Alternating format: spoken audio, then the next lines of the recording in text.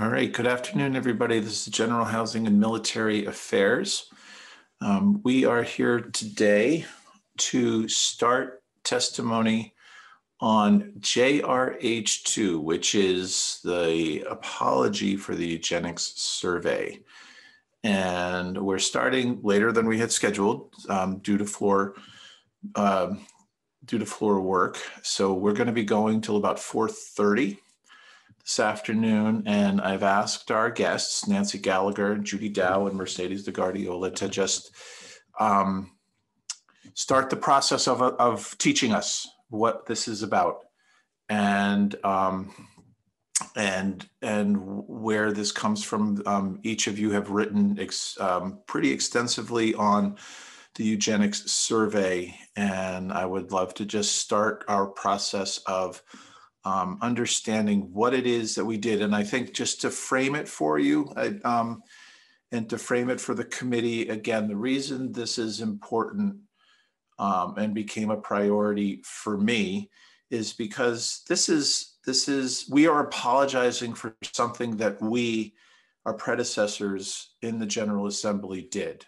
we reacted to um, science at the time, and UVM was the base of a lot of this work in Vermont.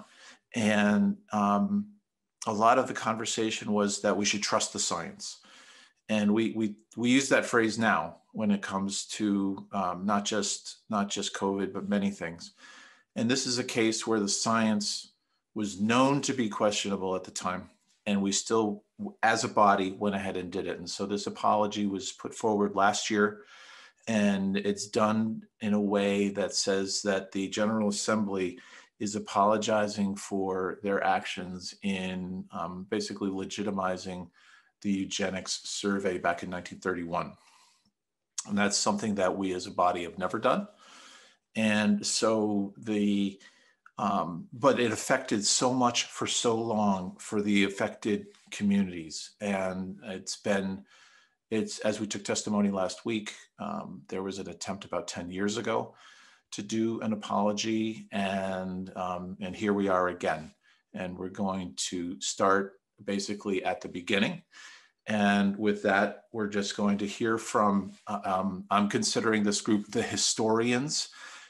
It's not they're not solely the historians, but they are, um, for our purposes, the historians to kind of give us the picture of what it was we were actually um, approving and what the outcomes were.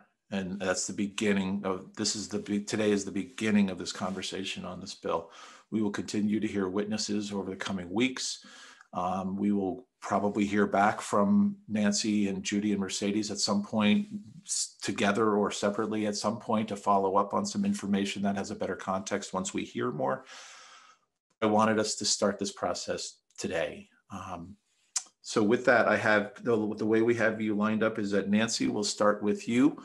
Um, everybody in the committee received a copy of your book that you were able to provide for us. Thank you. Um, and then we'll go to Judy and then Mercedes. And so, um, and basically for Zoom protocol, uh, we when we are I'm just going to assume that you have presentations to make, and when we have questions, we can, depending on how the flow of the testimony goes, we can either have it during each individual. I don't want to interrupt anybody while they're while they're talking, um, and certainly save us save our questions for the for the end, um, if that if that's the way it works out. But for the for the witnesses, I kind of I have control as a co-host of who's who's talking and and you know whose hand is up and whatnot. I can see that. So um, we'll try to facilitate this conversation as best as best we can on Zoom. But um, thank you for coming. Um, let's start with Nancy. Nancy, welcome. Um, if you just introduce yourselves and yourself and let us know um, what we need to know. Good afternoon. Um, I am appreciative of the fact that people have taken interest in my work and my book. And um, I would like to start by saying um, I had actually started this research on eugenics over 25 years ago. So it's been a while. since my book was published, I learned much, much more about what I would say were the impacts on families. At the time, I was working on a master's. I was looking primarily at the um, academic aspects of it, the history of what was happening in science and medicine at the time, and in the eugenics movement, and contextualizing Vermont against the um, you know, against the broader scope of what was an international movement. What interested me particularly was sort of the irony about how Vermont was supposed to be so independent, these rugged, independent people, and this whole image of Vermont as pioneers carving out um, a life in the wilderness, what I call the wilderness myth, and how that became a framework for um, first the Eugenic survey of Vermont and trying to exclude certain kinds of people from Vermont or um, and secondly, the Vermont Commission on Country Life, which is actually where I had started with a previous um, course on how um, that mythology or that that concept of Vermont and the kind of people that Vermonters were was pretty exclusive, did not include a lot of the people who were not the good old Vermont Yankee stocks. Um, I spoke to, I don't know how many of you, because I just was able to call in last year, but if you were at my meeting last year and read the suggestions I had written some years ago, what I wanted to make sure that any apology coming from the state was not solely ab- about sterilization, but the entire broad scope of harm that was done through um, the three prong approach of eugenics and the participation by the state, which was namely um, propaganda, public, what they called public education on eugenics, but making sure everyone in the state understood there were certain kinds of people that probably shouldn't be part of Vermont. Um, secondly, they had a public policy goal, and that was to legis- to uh, come at the beginning of the state legislature uh, legislative session and lobby for certain uh, programs that were inspired by eugenics, not just sterilization, but also removing children from families, um, that they felt were unfit families. A lot of kids got put into institutions or adopted out for um, as orphans. You know, they were orphaned basically. And um, so the policy and then their research program initially started in the 1920s with taking all these case files from both the Department of Public Welfare, from state institutions, from the Vermont Children's Aid Society. And at that time, the Vermont Department of Welfare encompassed all state institutions and penal institutions. And so all the heads of institutions were on the board of the eugenics survey. So the state was very much, or state leaders were very much involved in the work done by the eugenics survey, which Henry Perkins had started. Um, I noticed in this draft that I was sent that a lot of my concerns that I brought up last year have been incorporated, and I was pleased with that because so often people just look at sterilization and they don't look at the broader impacts. And I think you have tried very hard to do that here. And I submitted to Ron, I don't know if you all got copies of it. I had some changes that I wanted to make that I tried to highlight and so forth, um, mostly wording. But um, the first one what had to do with um, who was targeted. And you mentioned Abenaki or Abenaki bands, which certainly members of Abenaki bands were, but that there were um, indigenous family bands that are not today recognized by the state as indigenous. And I think we ought to definitely include those. And so I would like to change Abnaki to either indigenous family bands or indigenous peoples. Um, and then I made a few other suggestions in there.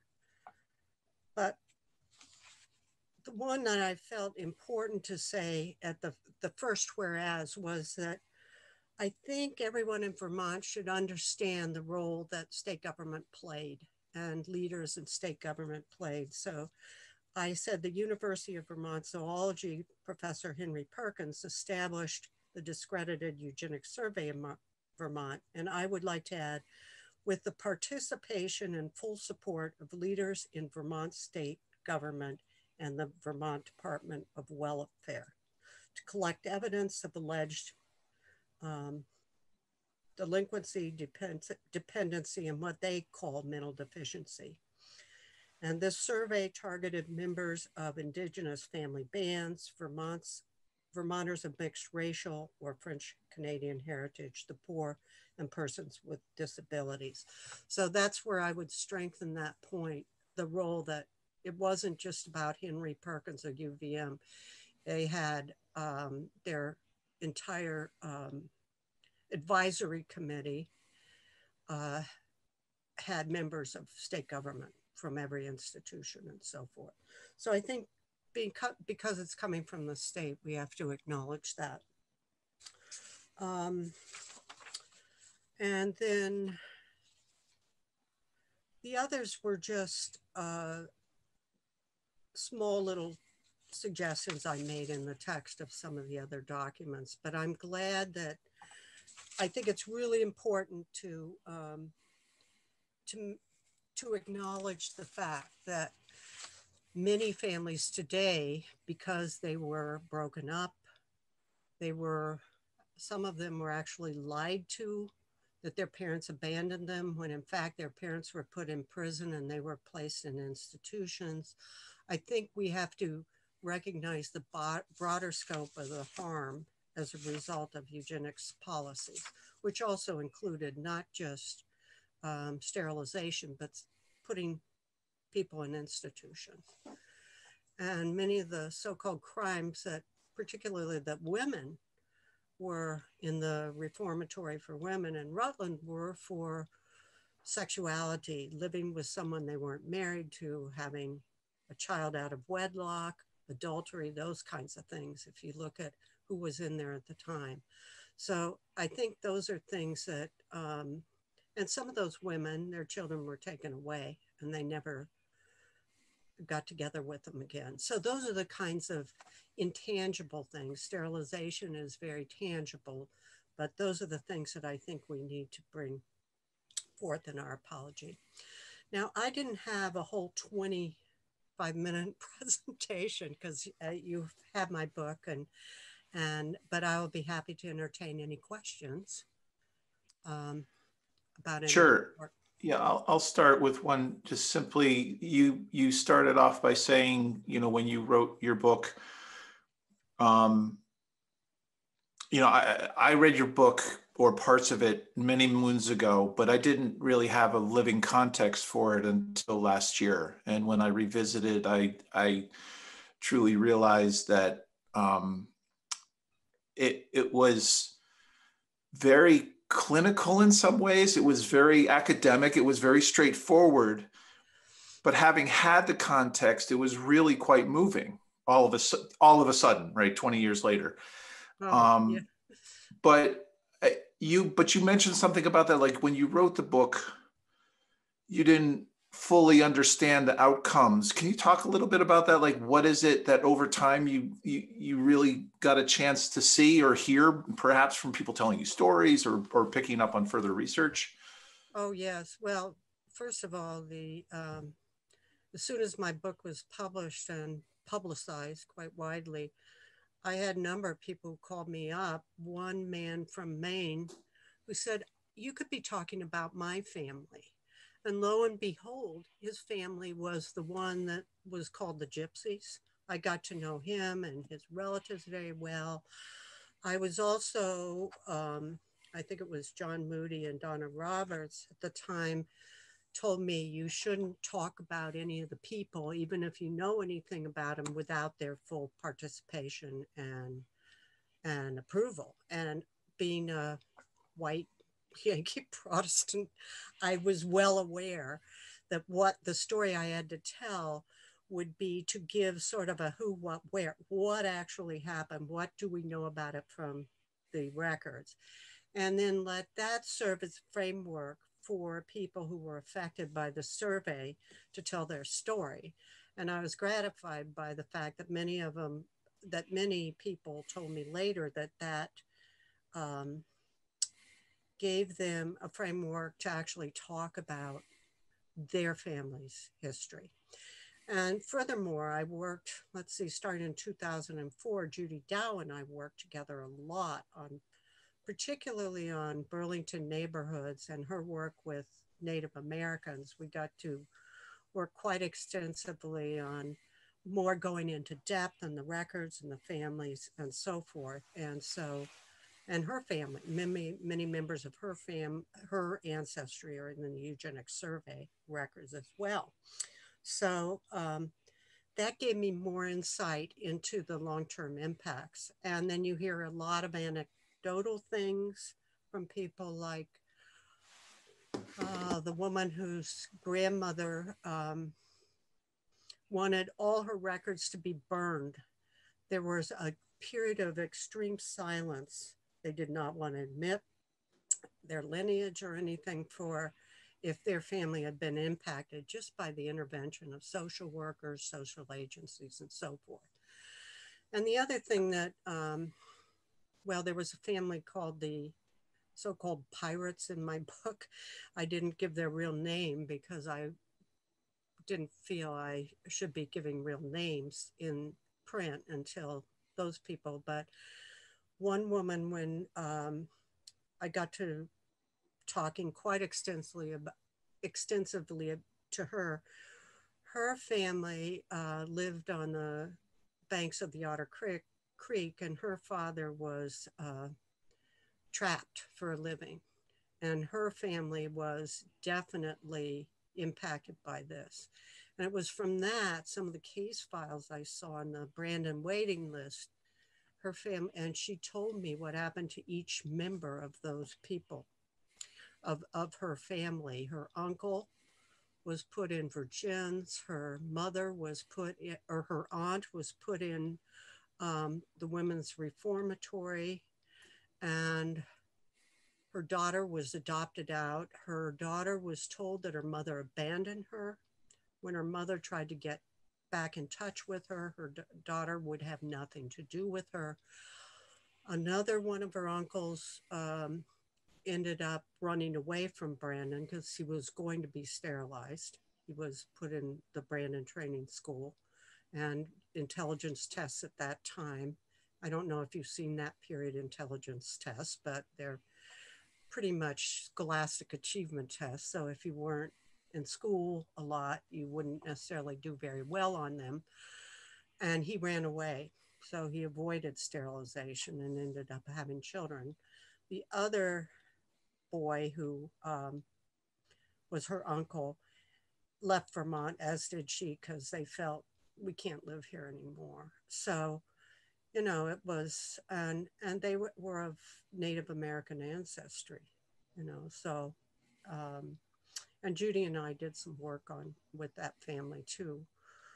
You know, looking at photographs of old photos of the Burlington Harbor, the houseboats on the harbor, and that sort of thing. And Judy shed a lot more insight into some of those neighborhoods, as did her parents.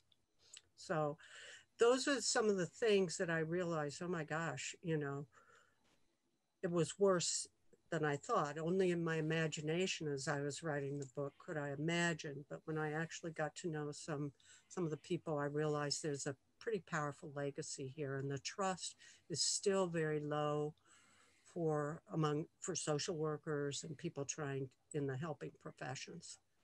Just because that tradition of family stories gets passed down, you know, don't trust, mm-hmm. don't talk, and don't trust, and don't mm-hmm. tell. That's sort of the the the thing that went on. So, any other Rep Representative Killacky. Thank you, and, and welcome back, Nancy. And I just had the honor of reading your book last week, so it's all very fresh for me, and I appreciate that. Um, I uh, also appreciate your suggestions for our resolution. I, I do have one question about um, the legislature because I want to make sure I understand this the timing, if I may. And in 25, that Senate passed the eugenics bill and the House did not pass that bill. And then in 27, they tried again to pass the bill and it didn't come through, but it was 1931 that the bill passed. Is that correct? Uh, you're, you're muted. Nancy, you're, we can't hear you. Mercedes can talk more about the 1912 bill. And that was the first wave of sterilization laws across the country. And a lot of them were thrown out by the courts as unconstitutional. So eugenicists in America went back to the board and tried to develop model laws that could not be um, vetoed. I think both, well, she'll talk more about 1912, but the governor vetoed it. Um, in, in, what in, year? In 1927, they were going to bring it forth, but they were starting the Vermont Commission on Country Life, and they didn't want to bring up something negative at that time, at that state. So they wanted to wait till the Vermont Commission on Country Life had finished its work, which was in 1931. And so in 1931, they went for sterilization again, and it passed. Okay, but but the 1925, I just want to make sure I, the House and the Senate both passed the bill and the governor vetoed it, or the that was Senate? in 1912. 12, and what happened in 20? It was oh. vetoed, I guess, in 1913. Mercedes would. Okay, 1925 bill I'm talking about. Oh, that was the year that that Henry Perkins started the eugenics survey. Right, and but but the, but I want to get clear that uh, the Senate passed it and the House of Representatives refused to pass it in that 1925. I don't think they it went up in 1925. It did go up in 25. I thought Barbara, do you want Barbara, do you want to chime in there? You Barbara has a connection here. Well, I was only going to say that I, I I too thought I had actually read that in the book in, that in, in 25 the Senate had passed it. I'm, I'm not through the book, and I um, was interested in that time frame of the Senate from 25 to 31 and would be frighteningly interested in how the votes were actually cast in the Senate. I come from that old Yankee stock, so this is a very important and intimate piece of legislation for me or resolution so that I can um, hopefully continue a voice that I hope my family was making or make amends for a voice that they didn't put forward and in those times. Um, and since I was given the floor, I would also just share that actually Sybil Smith, who was cited as a social worker who came from Boston, um, was my grandmother's sister. So I, yeah, I, I am interested in, in this period very intimately. And as I said, I would love to be able to make amends and and be on the right side of an issue that I hope we were on the right side of in the past, but I can't guarantee that. Nancy, the only reason I I, I, I want to make sure I understand the 25, if the House refused to pass it, um, I, I want to make sure the legislature is absolutely culpable. We are today as culpable as those who passed it. But I want to make sure we phrase it correctly because if it's not the full participation, if the bill didn't come really through till 1931, um, I, I, mean, language is important. So that's why I want to figure out this 25, 1925. And, and it came from your book, so I'll have to find it again. Judy. Um, 1925, there was an attempt. Yeah. I can't tell you who voted and who didn't. I don't know that. I just know it did not pass. And because of what Nancy said, they were interested in um, rural Vermont and other um, projects. There was 17 projects within the Vermont Eugenics Survey, and they wanted to get some those done and accomplished before they took the bill to le- legislation again. And it successfully passed in 31. 31, yeah. Okay, thank you. Nancy and I have both have a newspaper clipping from that period of time that shows the specifics of numbers of what it passed by. So one of us can look it up and send it to you, I'm sure. Okay. Wow. Thanks. All right. And Representative Murphy, and then we're going to pop over to to Judy. I just was going to close that with I did I had marked the citation of the vote and it was on page 84 of the book and it um, says the bill passed by the state senate on March 15th uh, was immediately and soundly defeated in the House in a vote of 126 to 54 two days later. Okay. All right. Um, so anything for Nancy right now, or can we move, we'll move to Judy and then we'll, we'll um, come back to Nancy if we have questions. So Judy, welcome back. Thank you. It's been a while. I was here 10 years ago when you addressed this issue.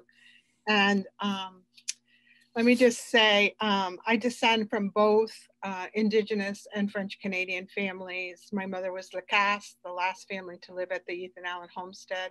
And my father was Fortin, a Beniki, uh, French Abenaki family that lived up on the cliffs overlooking the Intervale. Um, I was raised with both, learning both French Canadian and Indian ways. Um, I spoke French as a child. And I tell you this because I know in this state, it's really important to know what people's genealogy is. And sometimes to the point where it's enough to drive you crazy. But um, I'm an educator. I've taught for over 35 years. And I'm currently the executive director of Gedakina, a Native New England organization that helps women and their families to self determine a good path in life. And before I get started, um, Representative Stevens, I'd like to make a comment on the comment you made to start off with trust the science. Um, Nancy and I, I can see Nancy laughing, that is really worrisome because Nancy and I are currently spending a lot of time dealing with CRISPR, which is the latest science and that is dealing with creating a better baby. Um, in some cases, the Department of Defense is sponsoring um, the creation of a gene that can make a lighter skin color. Why in the hell would we want a lighter skin color? So people could suffer from skin diseases and cancers. Who knows, right? But there's some un, uh, there's some scrupulous um, things happening with CRISPR that people, many people are beginning to question. So to honestly trust the science is a little problematic for me. I'm sorry, um, but I, but my my narrative will tell you why I don't trust. I don't pass trust along very easily. Um, I'm going to read this to you. I'm not quite as um, prepared as Nancy was. But um, thank you for the opportunity to share my thoughts um, around this apology um, because it was um, devastating to me to hear the way it was handled 10 years ago. And it seems like um, it's, much, it's progressing much better now, and I do appreciate that.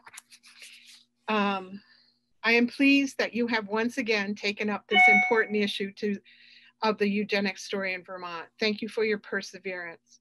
And thank you to Nancy for making this issue part of her life story as well.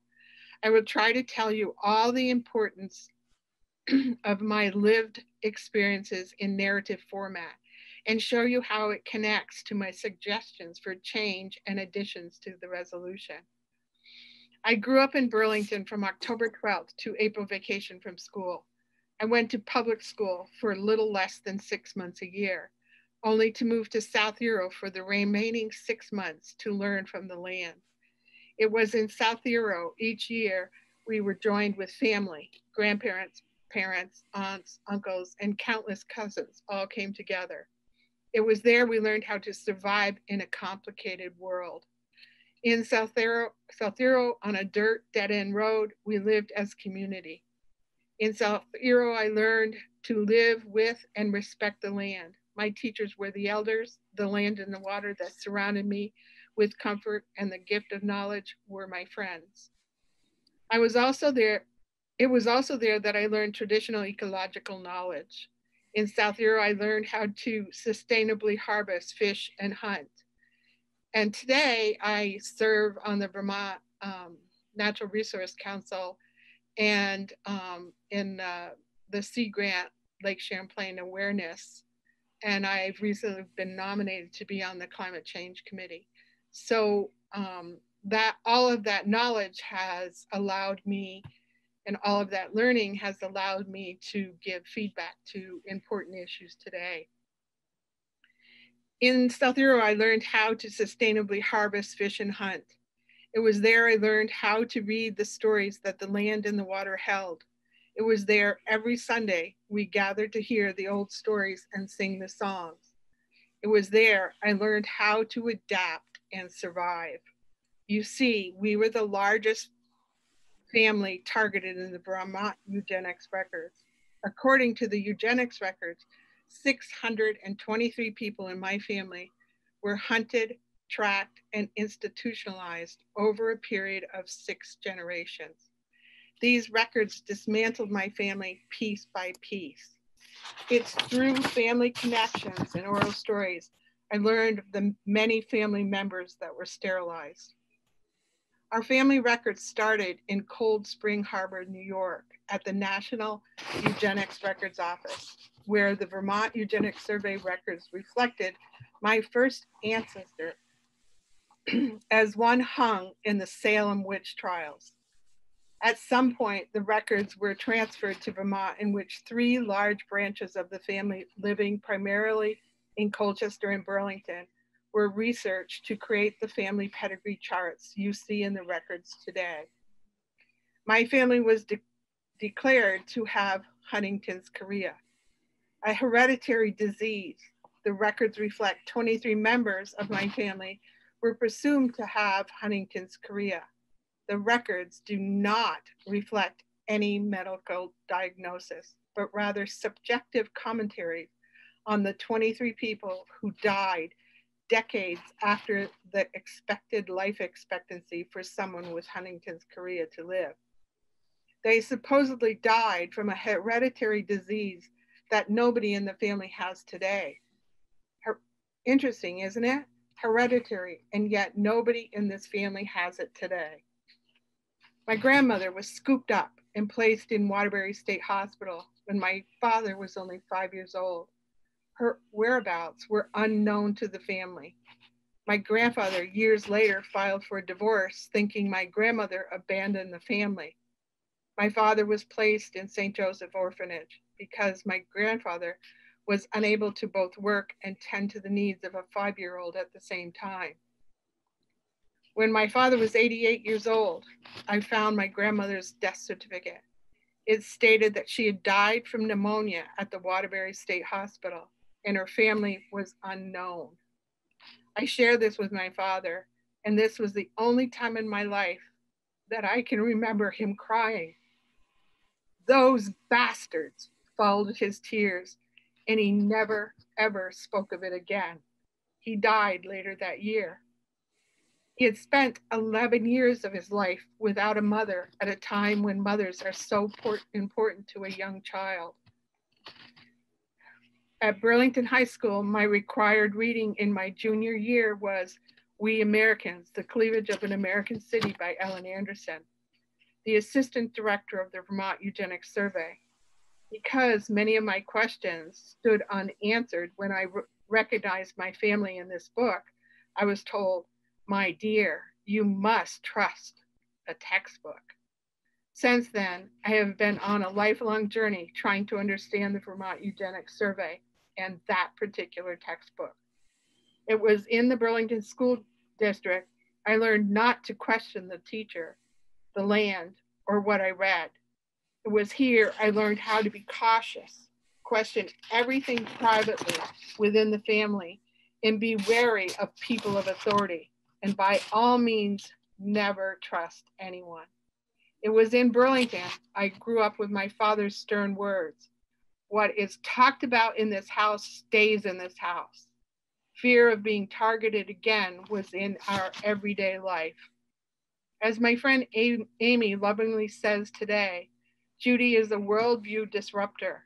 You see, my stories give us perspective that is seldom told and many times something people do not want to hear.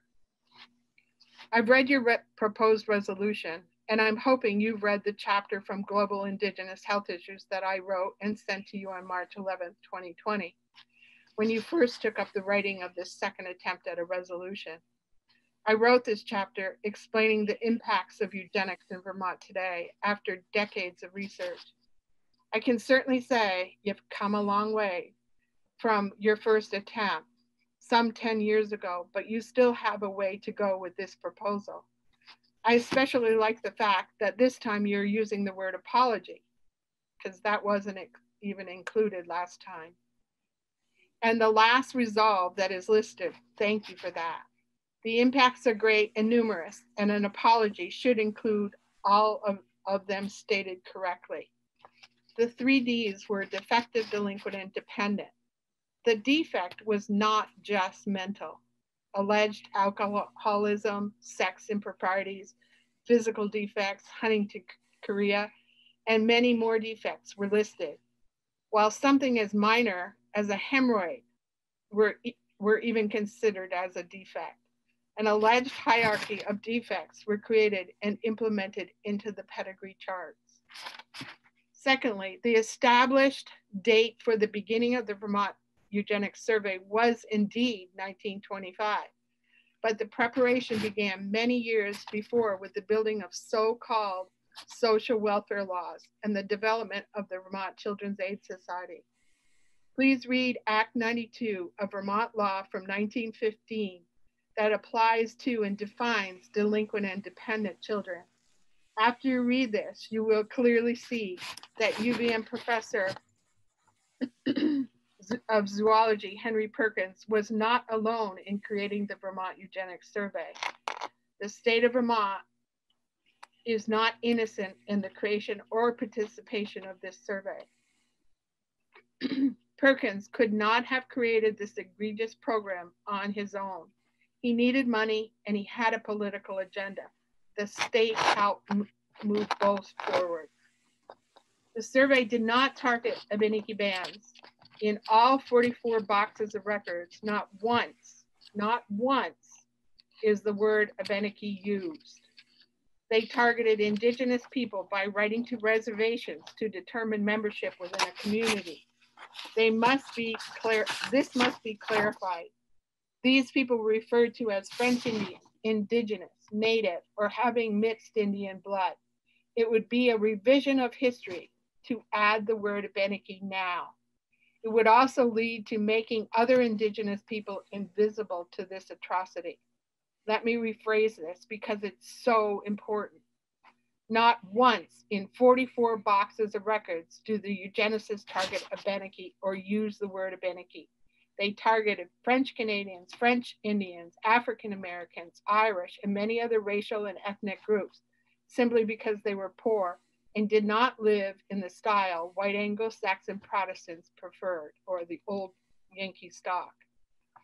Being poor was the one and only thing these negative eugenics records all had in common.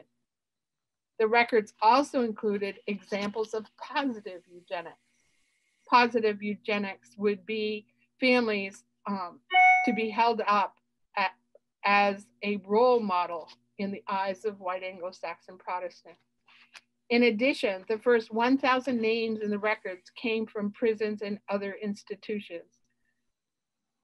The remaining 5,000 plus names came primarily from five large French Indian families that intermarried and lived surrounding the 1,700 acres today called the Burlington Intervale. Subsequently, the eugenicists created pedigree charts from these families that brought them backwards and lateral within their family to various other places throughout the state of Vermont.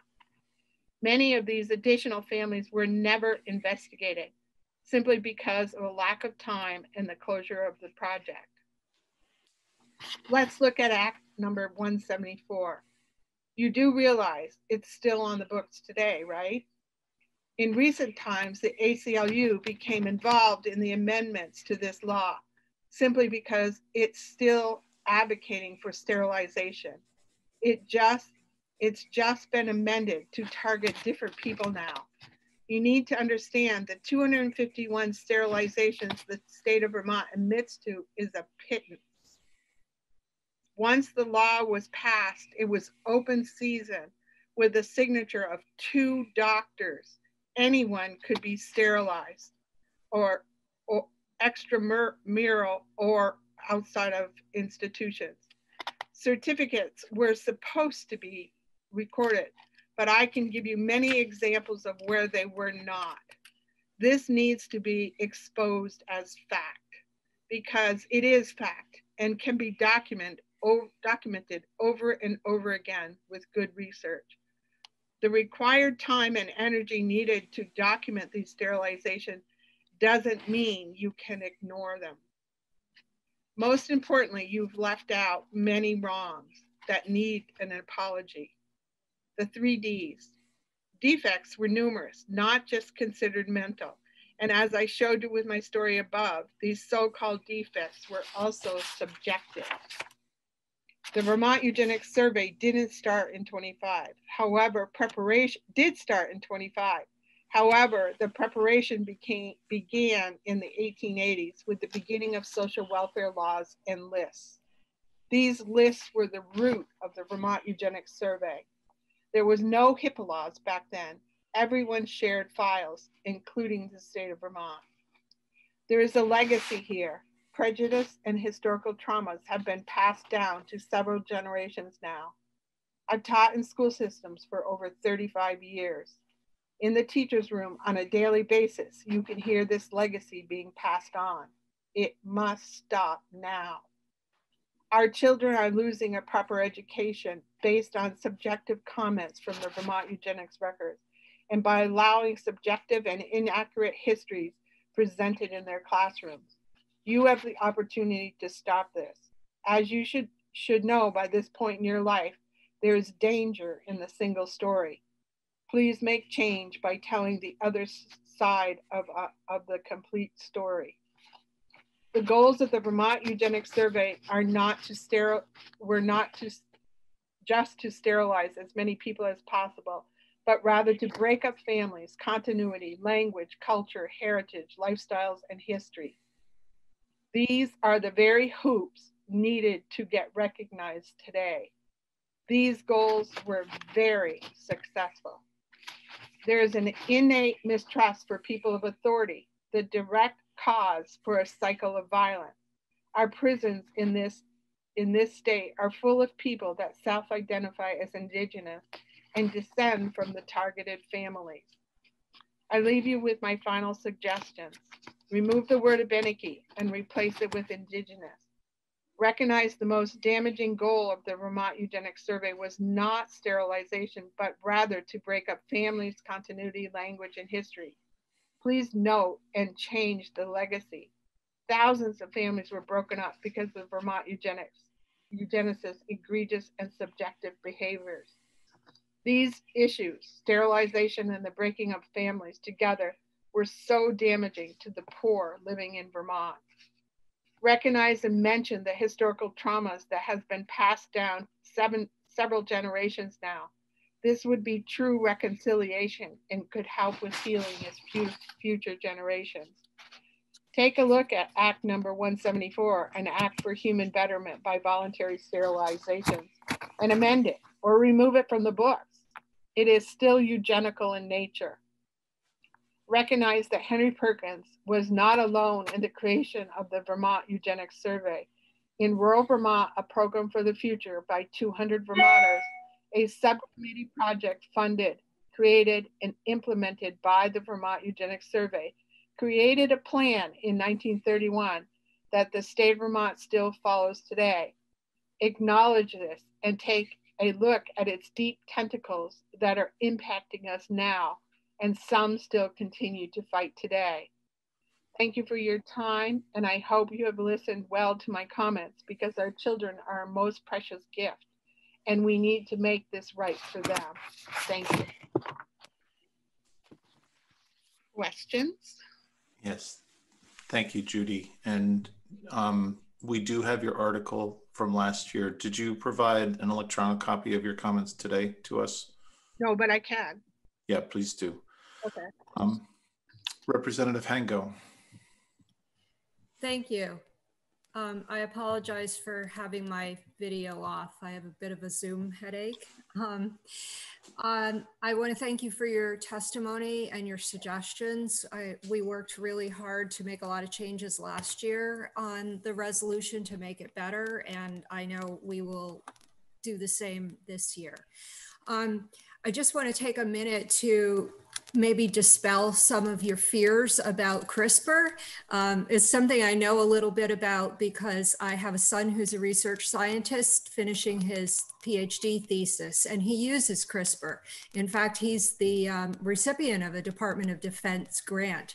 And those, those grants and that technology are actually a great part of how we got to the COVID vaccines that we have now. So um, I would like to hopefully dispel some of your, your fears that it's being used by the government um, in such a detrimental, terrible way. There are so many, many good uses for the technology that we have these days. Um, and if you want further clarification, I can certainly speak with you at another time. But thank you for being our committee. Thank you. I teach an ethics class at Mount Holyoke um, on this very topic. So I'm pretty familiar with it. Thank you. Um, further questions for Judy right now. Judy, again, as I mentioned at the very big top of this, um, we will, as we, our process will be gathering all this information and then coming back and looking at the words. And so your suggestions will be kept and we'll be asking you about them and Nancy and, and Mercedes as well to make sure we we put something together that is correct. I think there's really one just one option for me, which is to make this correct. Um, so thank you. Um, Mercedes, welcome. Thank you. Hi, thank you for having me and for inviting me to speak here today. I, for a bit of background, I began researching this subject five years ago. My work looks at the full history of eugenics in the state, with a particular focus on how and why it developed, as well as the forms it took. I'll be speaking today about the broader state history and how the eugenics survey fits into that. After completing my thesis at Dartmouth, I published part of my work in the Vermont History Journal. I'm currently revising a book manuscript for publication. In Vermont, the state led eugenics movement took several forms. Methods include sexual sterilization of minors and adults, segregation through institutionalization to prevent procreation, family separation policies, and educational campaigns. Eugenics is the idea of bettering the human race through selective breeding. It was founded upon the belief that races are not equal. It is therefore key to understand local constructs of race to understand local histories. As both Judy and Nancy have spoke to, many early Vermont citizens lionized their founders. This led to the concept of the Vermonter, also known as the Old Stock and Green Mountain boy and girl. In later decades, this, these terms hearkened to the white families with deep generational ties to Vermont. It was a cultural ideal that excluded those that did not meet it, those of different races and ethnicities, particularly Abenakis, Indigenous family bands, Blacks, and immigrants, and white Vermonters on the basis of physical and mental ability, health, socioeconomic status, behavior, work, and sexuality. These exclusions guided who was targeted under eugenics under the guise of terms such as feeble mindedness and degeneracy. What led to Vermont eugenics was not the celebration of founders, but rather state leaders' refusal to adapt this concept in the face of significant social changes. In the late 1800s, leaders began to fear for Vermonters. More than half of Vermont's towns faced a falling population, farms were abandoned, and poverty was rising. Two new state institutions, the Waterbury State Asylum for the Insane and the Reform School, as well as the Brattleboro Retreat, were overcrowded. Though due to a number of unstudied factors, including loose standards for admittance, the institution's problems and their tracking of family histories seemed to confirm the growing fear that the best Vermonters were fleeing the state, and that the Vermonters who remained were weaker and becoming diluted by foreigners. By 1912, Governor John A. Mead believed greater measures were necessary. Based upon two years of research, he proposed three eugenical solutions to the legislature during his farewell speech marriage restriction, segregation, and sterilization. The 1912 legislature did not consider marriage restriction, as it was already accounted for in different terms under existing law. They did pass the sterilization bill, but the new governor, Allen M. Fletcher, vetoed it upon the advice of the Attorney General due to a number of concerns, including constitutionality. Explicit segregation laws were unnecessary, as superintendents already determined the length of stay at institutions. They did, however, create a new institution, the Vermont State School for Feeble Minded Children at Brandon. Despite its name, it housed a number of adults throughout its history. Early records confirm that school officials saw it as a tool of eugenical segregation. Its immediate growth likewise seemed to confirm ongoing fears. Records from other institutions demonstrate that if eugenical segregation policies were not already in place by 1912, they were utilized soon thereafter. Despite the failure to legalize sterilization, I did find one case dating to the 1920s. Local officials and institutional directors had split up a mixed race family by institutionalizing the children. Upon one daughter's return home as an adult, they became aware she planned to marry. Instead of recommitting her, probate records state that they had her sterilized. The ease with which the officials handled the case suggests that there are more. Over the 1910s and 20s, socioeconomic issues were worsened by World War I and the Spanish flu. New welfare programs were immediately overtaxed. Eugenicists believed that the time was ripe to try again. The 1912 legislature had not challenged eugenics on any significant grounds, leaving the argument open that further eugenical measures could be the only solution to the state's issues. But as in 1912, institutional leaders were simply too overworked to take the lead. So in 1925, the role fell open to a professor. The University of Vermont's Henry F. Perkins believed that what Vermont eugenics needed was a thorough study of Vermont families.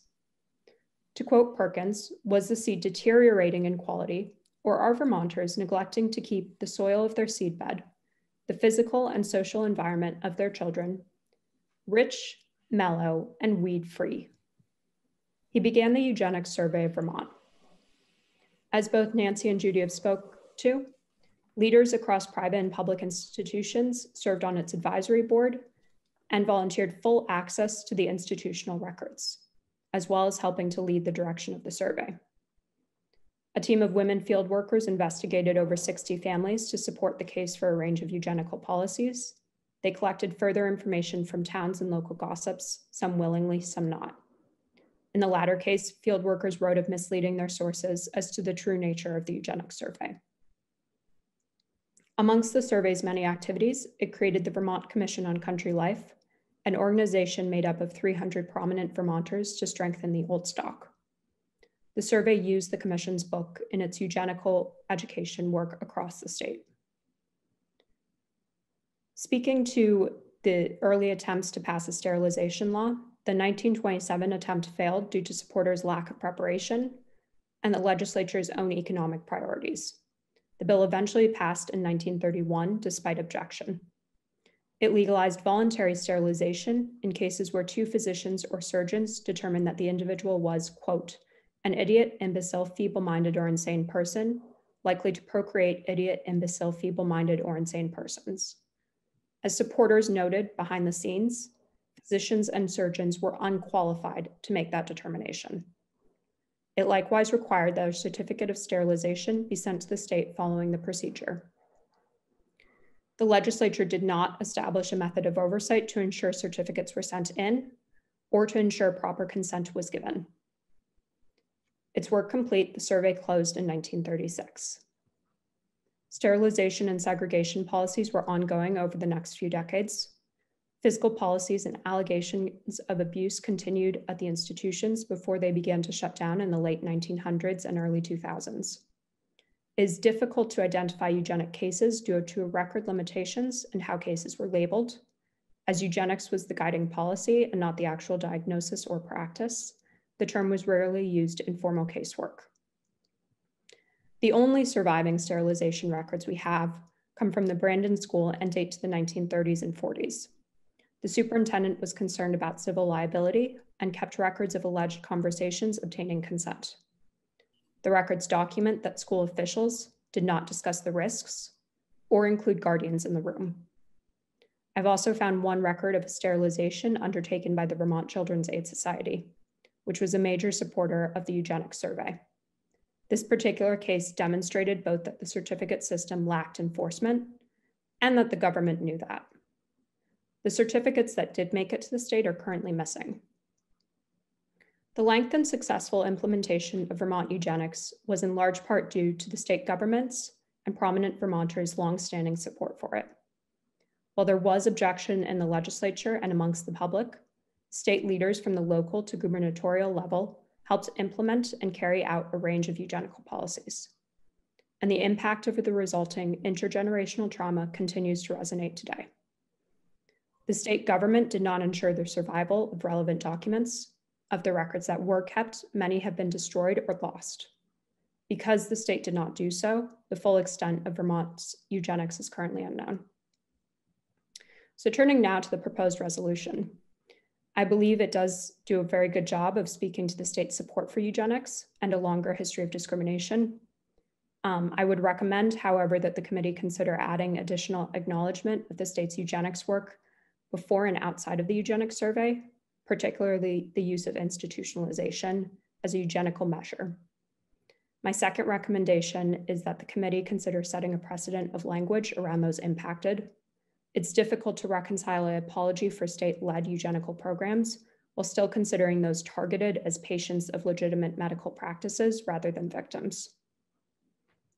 And with that, I'm happy to answer any questions this committee may have.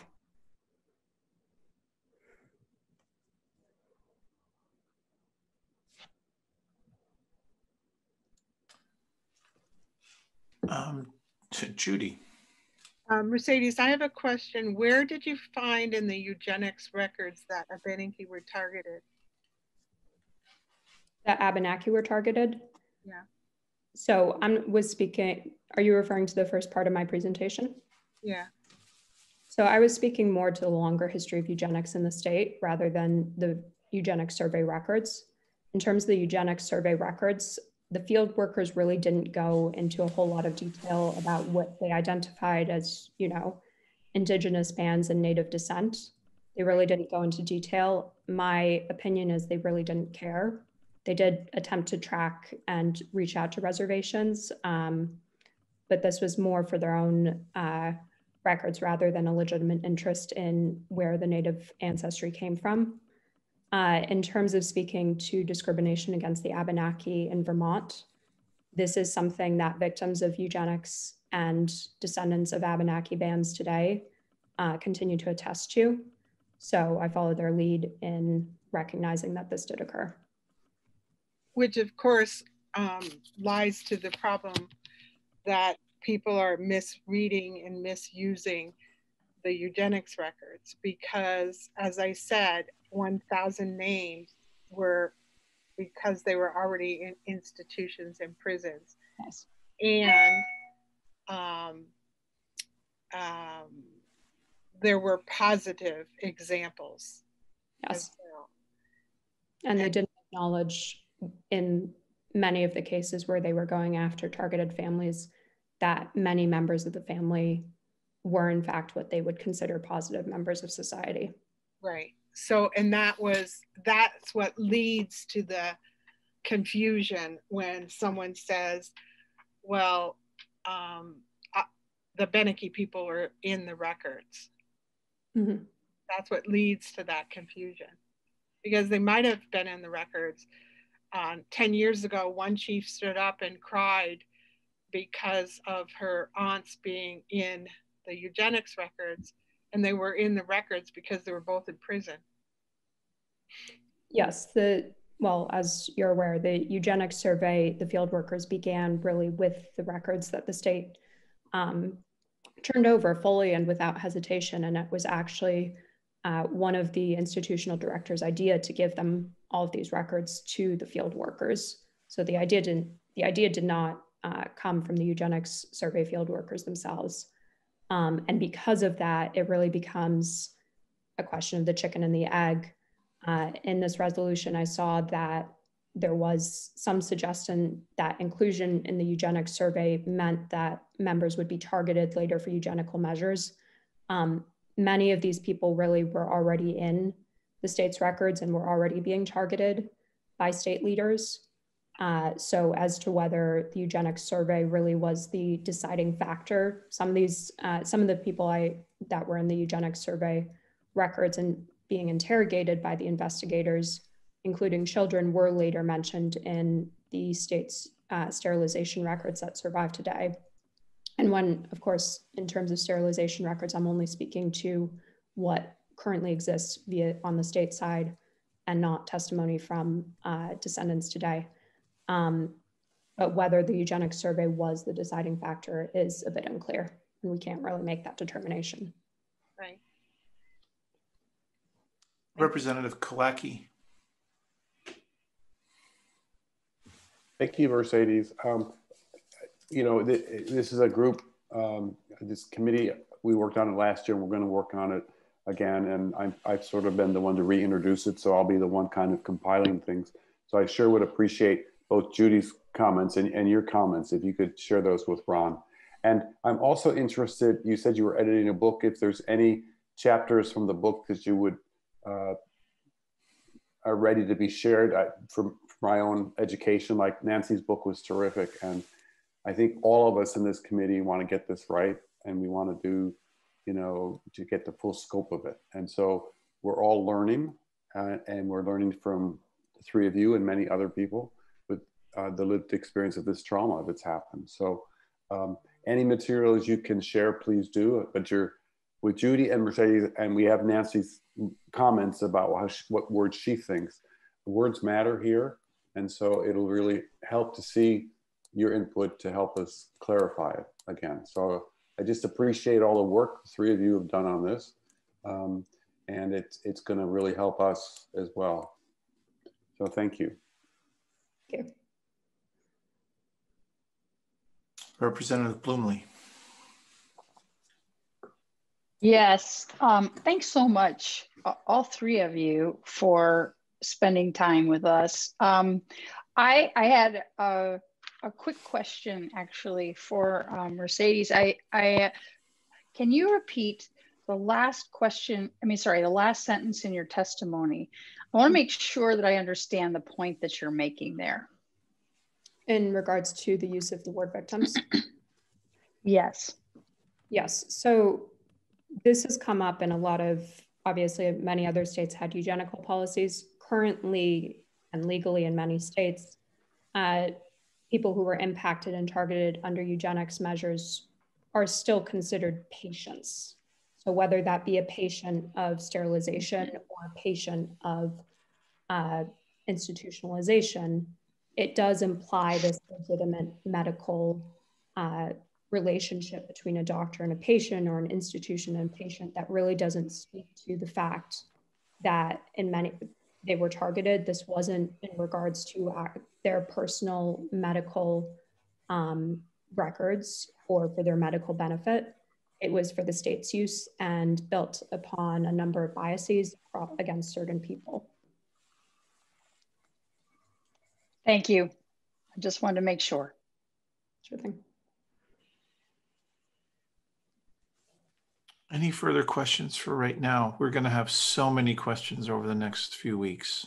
Um, I have some additional comments, um, if that's possible.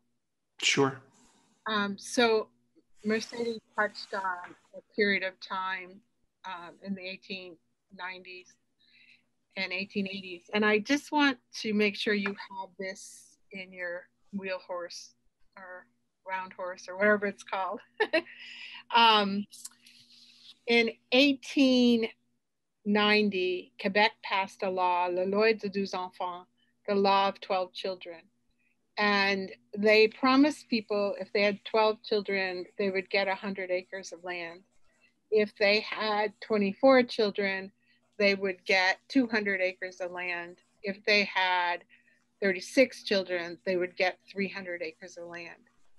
Um, and so the records reflect that people tried really, really hard to have 36 children in a family.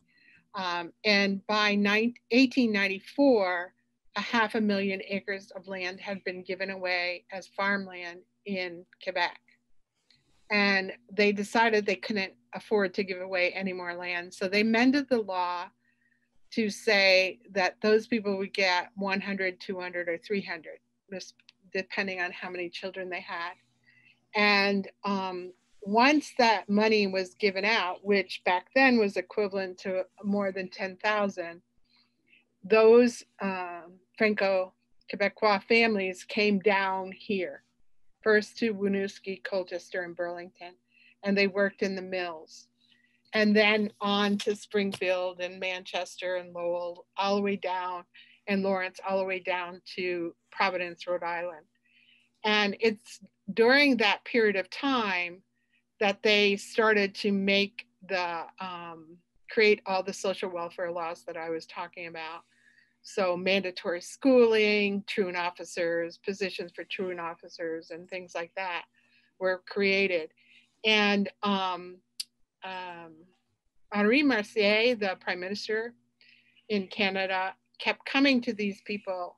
Like he would physically travel down throughout New England and he would say, keep your language, keep your culture, keep your history intact, and we will annex Quebec to New England but he, within five years, he passed on and it never happened. But that's why you saw a lot, the creation of like St. Joseph School and church and all of that, because those French, French Indian people were keeping the language of French intact, the culture and the histories and the religion.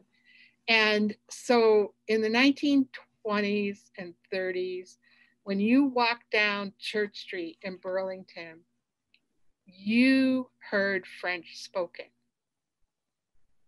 65% of, of Vermont at that time spoke French.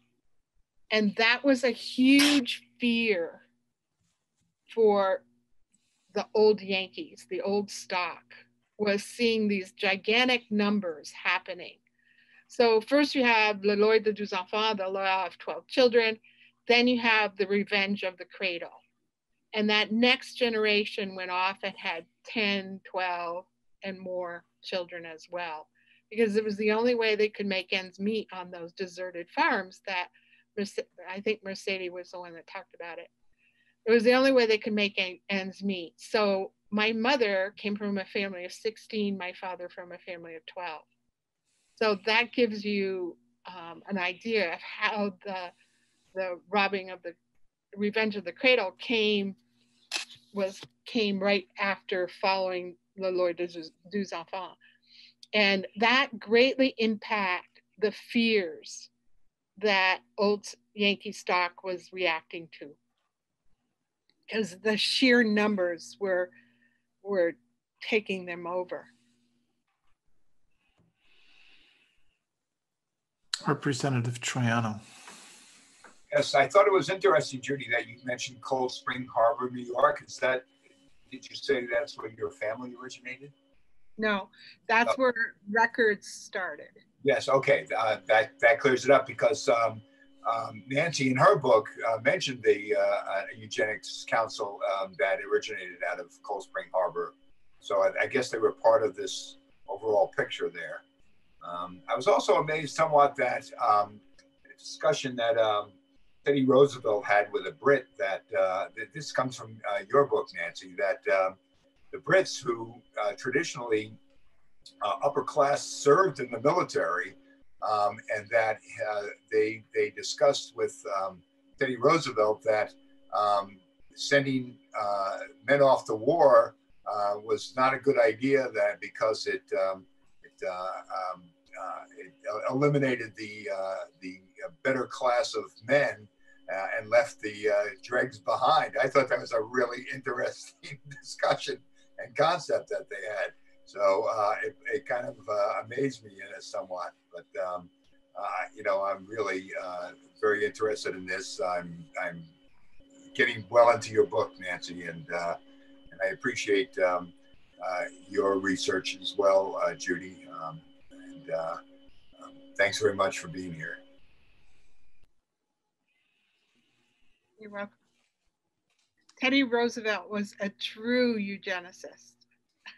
He's the one, you know, you hear he was like so famous for starting all those national parks and stuff like that. And Vermont was following the same pattern that he was establishing naturally, nationally. So in places where there were parks, um, like in Burlington, I'm thinking of Charlevoix, the, where the trucking place is now on Riverside Avenue.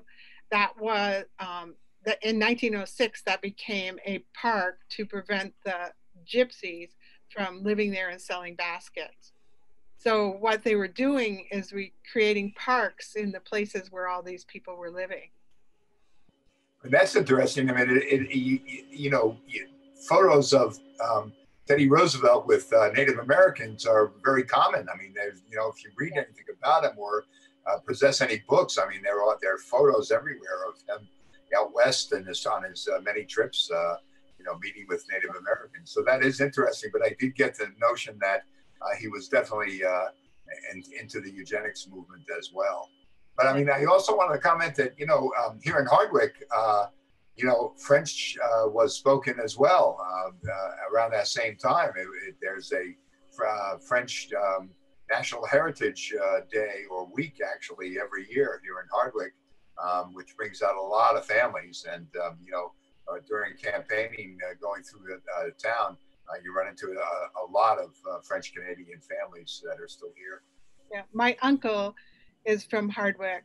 Oh, yeah and he's the one who my mother's brother who came from a family of 16 and he moved to hardwick only to have 13 kids. So why did you have to move to hardwick for that? I, don't, I don't know. What's in hardwick. I missed that part.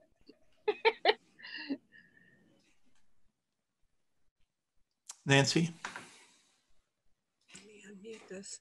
Yes um one of the interesting things is a lot of people in the early conservation movement were also very much interested in eugenics. And Teddy Roosevelt actually got into a giant argument with the president of Stanford University, who was uh, for peace, you know, around World War One, and he um, mainly is war eugenic or not? In fact, this is the 100th anniversary of the Second International Congress on Eugenics. And if you look at their proceedings, there's a lot of real interesting debate about war and eugenics and that sort of thing, both pro and con. And um, so, and I think the National Park Service has actually come out on their website and they discuss how the um, a lot of the national parks that there was another agenda there for kind of removing indigenous people, particularly out west. And they've actually come out and admitted that's part of what went on there. So, you I, I just wanted to say I didn't uh, mean to leave you out, Mercedes. I appreciate you being here as well and bringing us this uh, great deal of factual information here to us. I'm sorry, Judy. Um, I was just going to say, um, if you want to understand some of that conflict, you should have dinner at our house sometime. My husband's grandfather's first cousins with Calvin Coolidge. And he and my children spent most of their summers with their grandparents in Ludlow. They were Dawsons in um, at the Calvin Coolidge homestead. And it comes for entertain, uh, entertaining conversation when Calvin Coolidge is presented as a eugenicist who attacked my family. so, um, yeah, you get back in history, you can find some interesting co context and stories from Vermont. Representative Murphy. Thank you. And Judy, I, I love that you brought that up because I had read that uh, in Nancy's book also. I mean, it again, it's the mythology of Vermont that everybody was wonderful and heroic. And if all Americans were Vermonters, the world would be lovely. So I appreciate that, you know, we're all humans. we all got all those parts.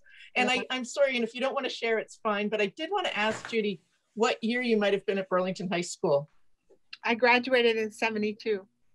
Okay, you're you're a shade older than I, but I, I was 75 and, and certainly knew knew the Dow family name. well, that's my husband's family name. Okay. Uh, I was a Fortin. Um, okay. And I had um, four younger sisters, so perhaps you went to school with one of them. I think I did. Fortin rings a bell with an I. Yeah, F O R T I N. Yeah.